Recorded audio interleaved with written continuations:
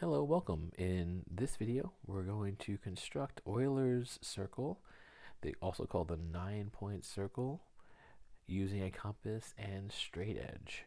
And what we're going to have to do to get this circle to be constructed correctly is drop three perpendiculars, one, two, three, through the vertices of a triangle, perpendicular to their opposite sides, because those altitudes by dropping a perpendicular, we'll find altitudes, and the feet of the altitudes, which is where the altitude crosses the opposite segment, will be on this circle. Those will be critical points. We also want to construct one, two, three perpendicular bisectors because that'll give us the one, two, three midpoints that this circle also crosses, and the circumcenter, which is the uh, other point we need to construct the center of the Euler circle. The center of the Euler circle is exactly halfway between the orthocenter, which is the intersection of all the altitudes we construct, and the circumcenter, which is the intersection of all the perpendicular bisectors that we construct. Lastly, the circle will also cross the midpoints of each vertex and orthocenter. So like here's a vertex, Here's the orthocenter. Halfway between is another point that the circle will cross. And there are one, two, three of those points as well. So let's do those constructions. Again, this is all about dropping perpendiculars and perpendicular bisectors. So I hope you join me in this. It's quite fun to do. Here is a triangle that I'm going to use. You might want to pause the video and set up your own using a straight edge or maybe you take a screenshot of this and print it out uh, so that you can follow along. All right, so the first thing I like to do is set up my perpendicular bisectors, and that'll give you my circumcenter, and that will also help me um, find the midpoints of each side. So I'm going to line the compass up, and I want to make it wider than halfway across towards A. I can make it wider than A if I want, but it has to at least cross the halfway point. Otherwise, we won't have any intersections to work with. So once I'm happy with the position I got, scroll down a little bit. I want to mark the arc where I think the perpendicular bisector will go or extend to, and then I'll do that on both sides. And then I will go over to A and do the same thing. So here we go. We're going over to A, and then we're gonna swing the compass up, up. Okay, phew, I made it. There's the one intersection, and then swing it down. We just made it here too. Okay, boom. If I connect those two intersections, I'll have my first perpendicular bisector. So let's do that real quick. Okay, got my line tool set up. Boom. And I'm just I'm trying to make it just as neat as possible. You can line up your ruler or straight edge to do that. And be careful, adjust it. There we go. And then we want to mark this midpoint because that's going to be a key point on the circle. Boom. Okay, that's our first construction constructed perpendicular bisector. And I can even change the color. I, I'm going to color code so that um, it's easy to keep track of what's going on. So everything that's this color, which is about like a teal, will be something with a perpendicular bisector. All right, let's go over to B and do the same thing.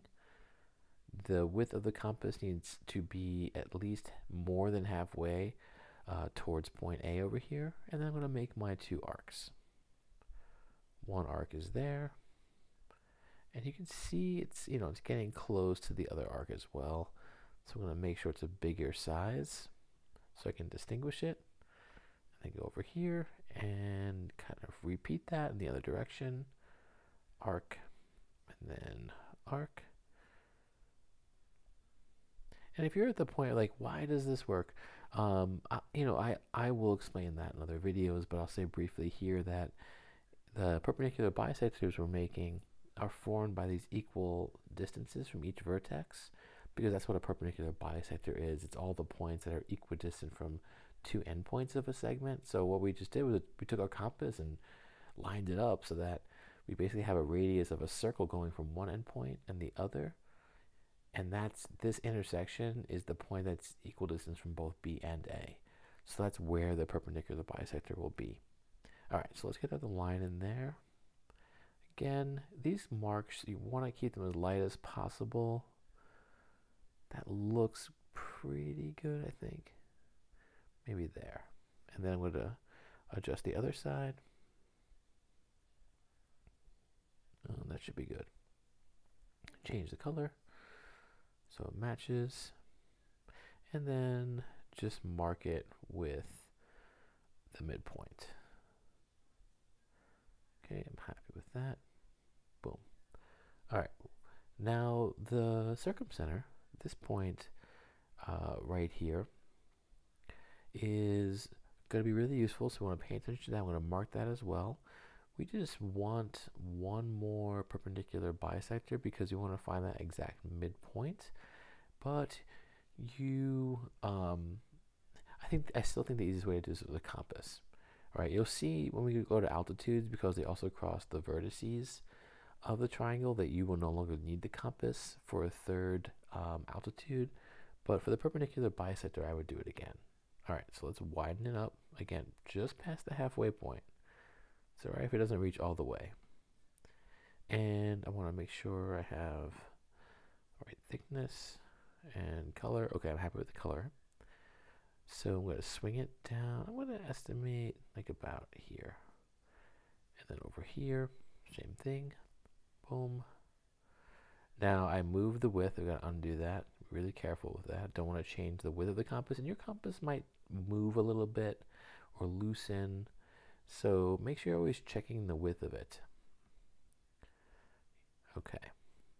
So now if we take our line tool and connect those two intersections, we have our midpoint. I'll fix this line. It's a little bit too thick for what we need.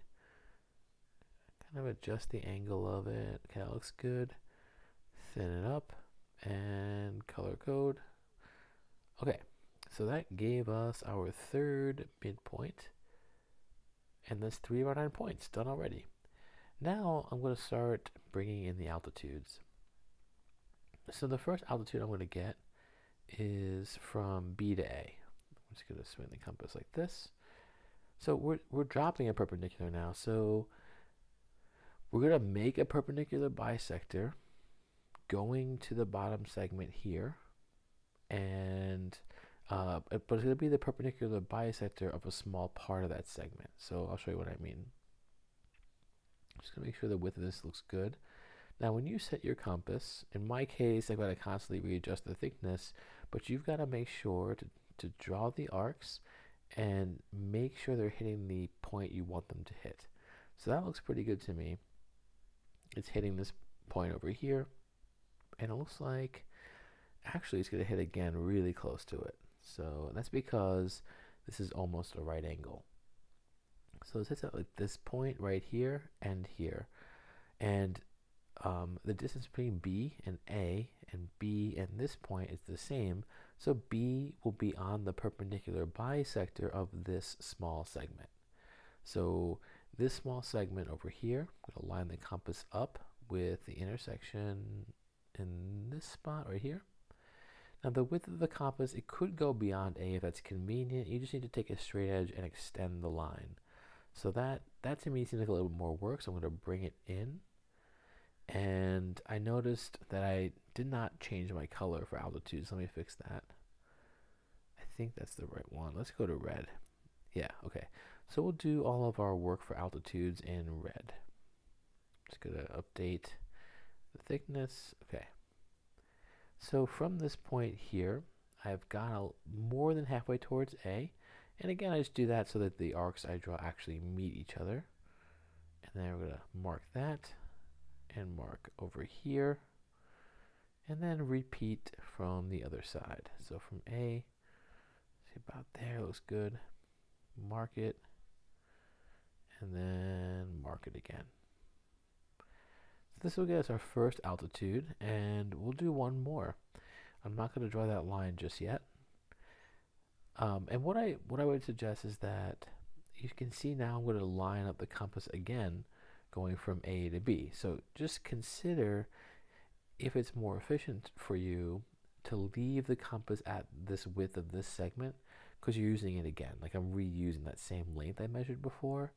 Um, and if and if it's easier for you, you can mark these arcs before you do any other adjustments. Like if I if I was to draw uh, these arcs here, right, I could just flip the compass over and and do it again on, this side before I even do the other marks I made. Okay, so I marked that arc and then all the way over here mark this other arc. So that looks good. And then to drop the perpendicular, I really only need two more arches. Over here I made too many. I don't need all of those arches. Let me clean those up.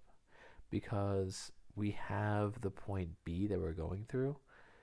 So that has to intersect the arcs over here. We don't need these other points. The other arcs I made. Sorry, that was redundant. It's not going to hurt anything. It's just extra work.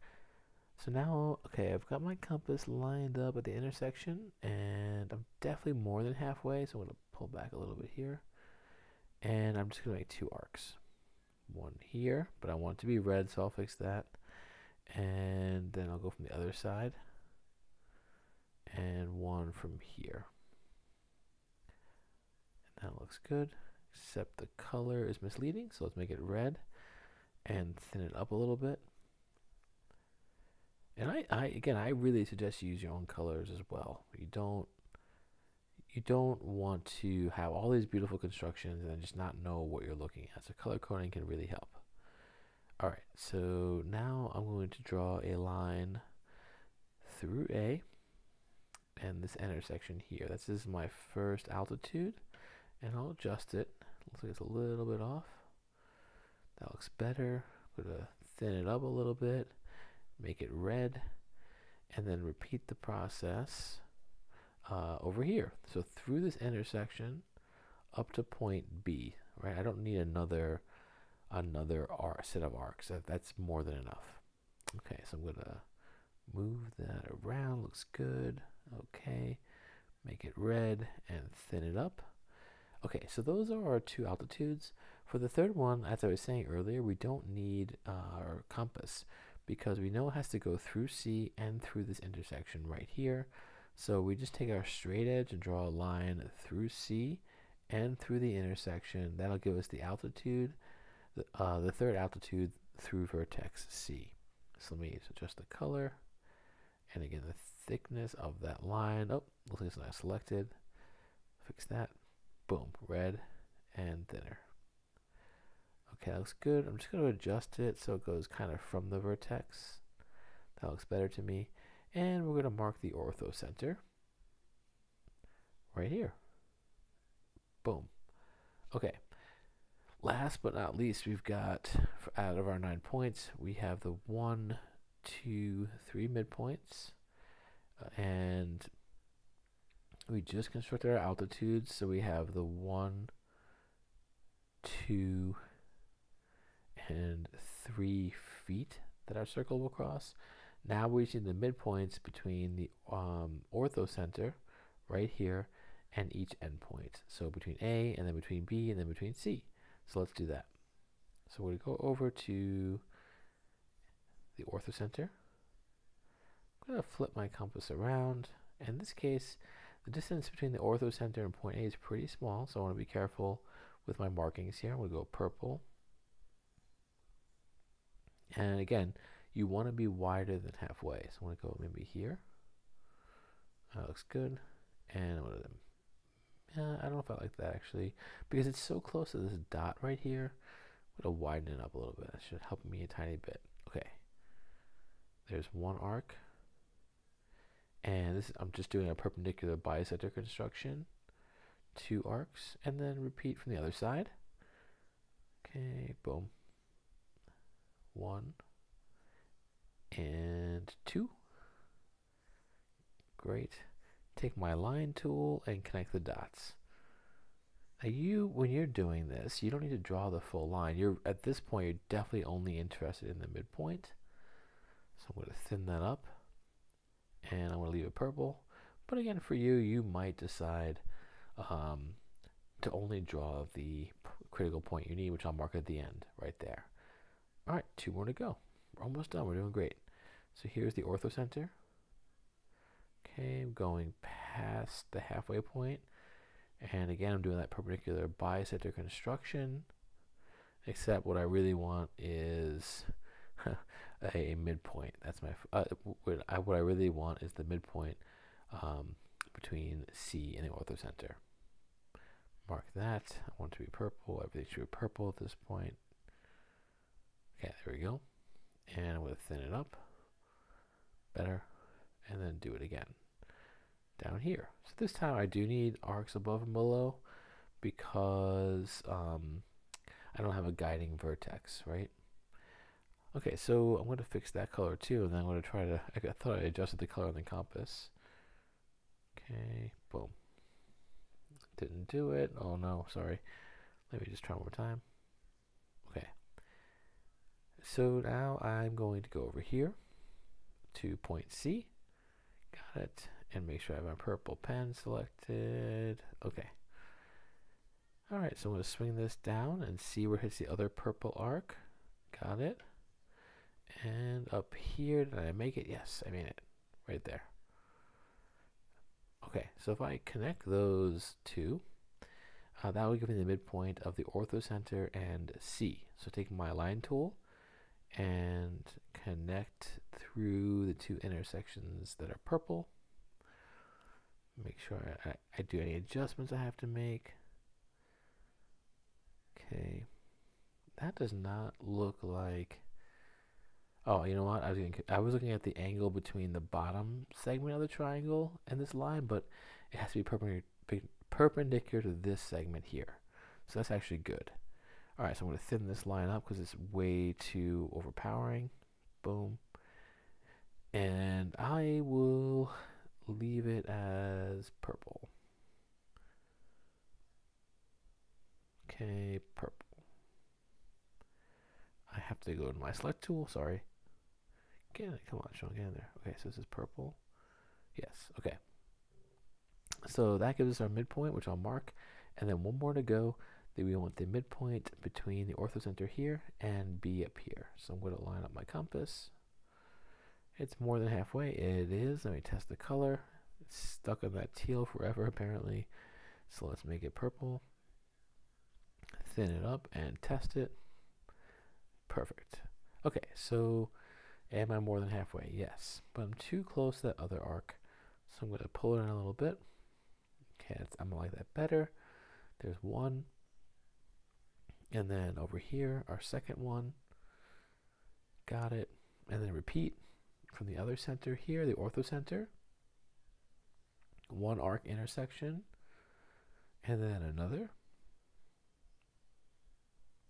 Okay, that looks good. And my line tool. From one intersection to another. Okay, so now that I have that line, I'm going to quickly adjust it. Let's make it purple and thin it up. And now go to my marker tool and I'm going to just mark my uh, midpoints between the orthocenter and each vertex. One,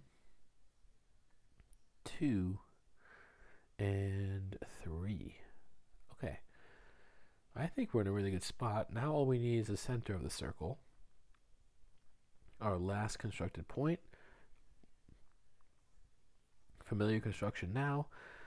We're doing lots of this. So there's my perpendicular, there's my circumcenter over here.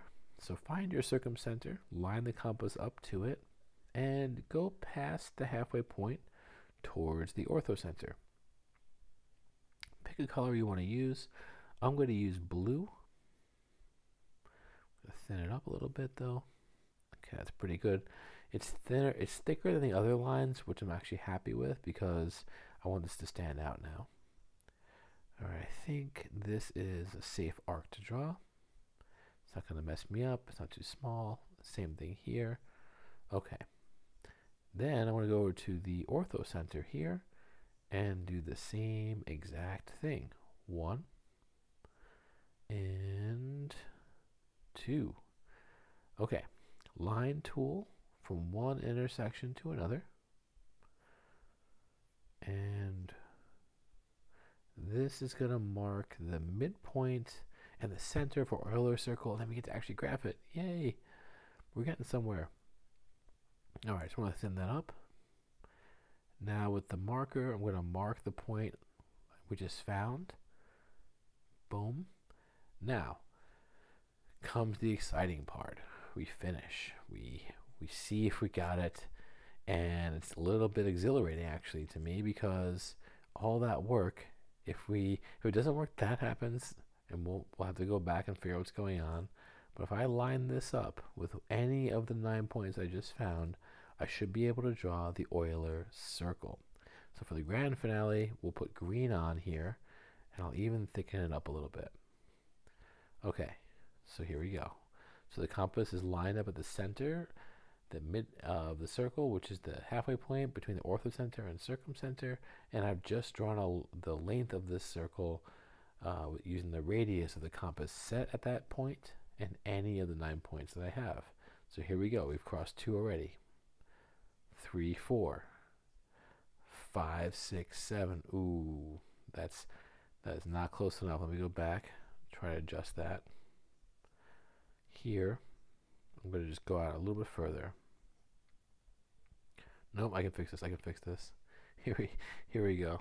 I think the compass center really, I'm trying to look at this, made the dot a little bit big.